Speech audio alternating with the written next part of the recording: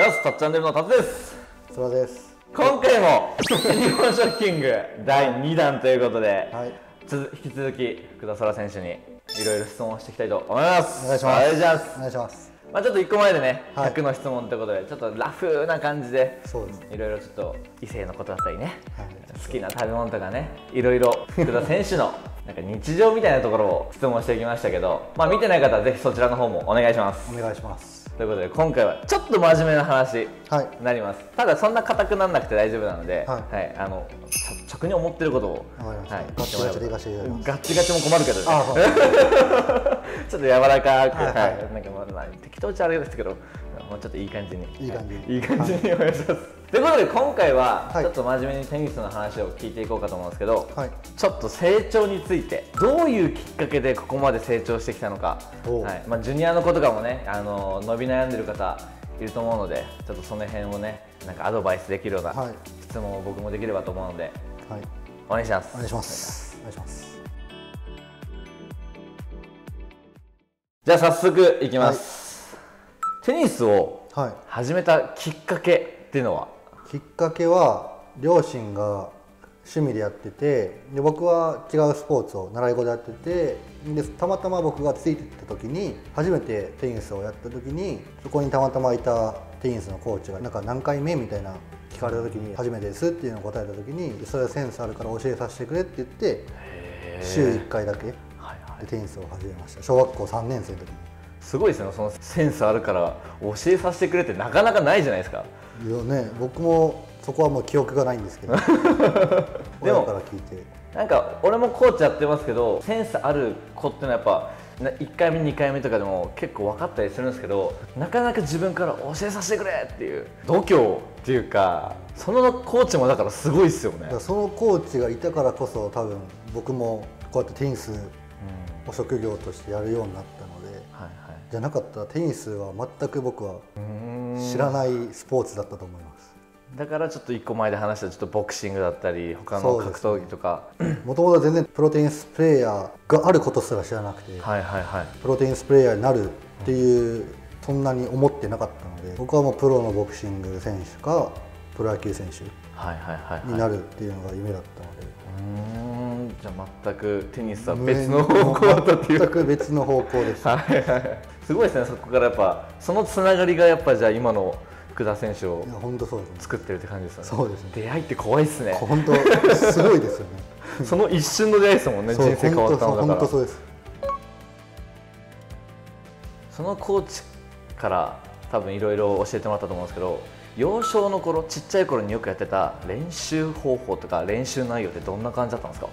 僕は一面で一面本当10人ぐらいめっちゃ多いですね。いるところだっ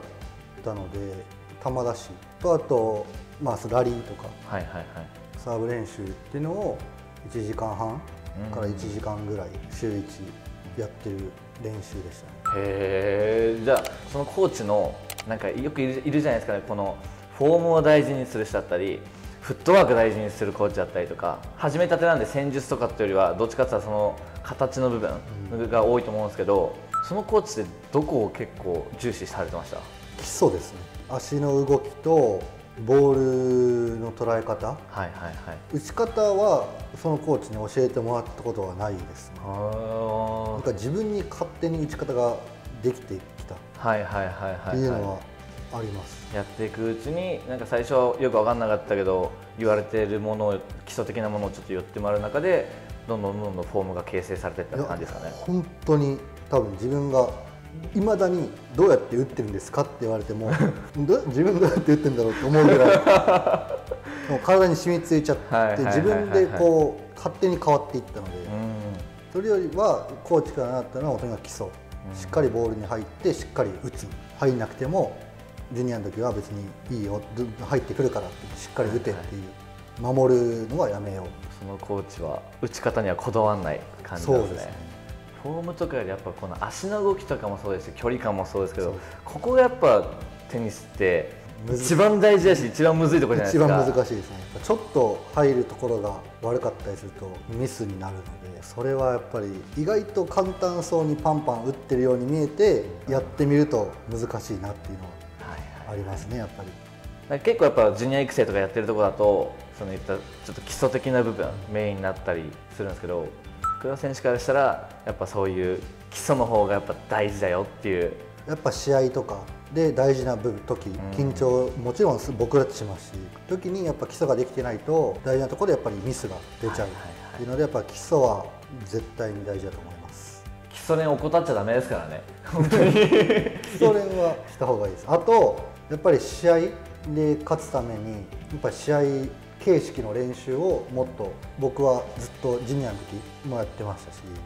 練習でいくらこう打てたって試合で形式で一面になった時にそれが発揮できないと意味ないので、っていうのでやっぱり試合形式はと基礎練っていうのは絶対にやった方がいいですね。ありがとうございます。じゃあちょっと最後の、はい、ちょっと短くなっちゃうんですけど最後の質問なんですけど結果を残すのに一番福田選手の中で大切にしてることって何があります？結果を残すためにはその目先の結果を求めすぎちゃうとダメなのでその前自分がなりたいここで勝ちたいっていう目標があるんだったらそこの前から逆算をしてって、練習だったりトレーニングだったり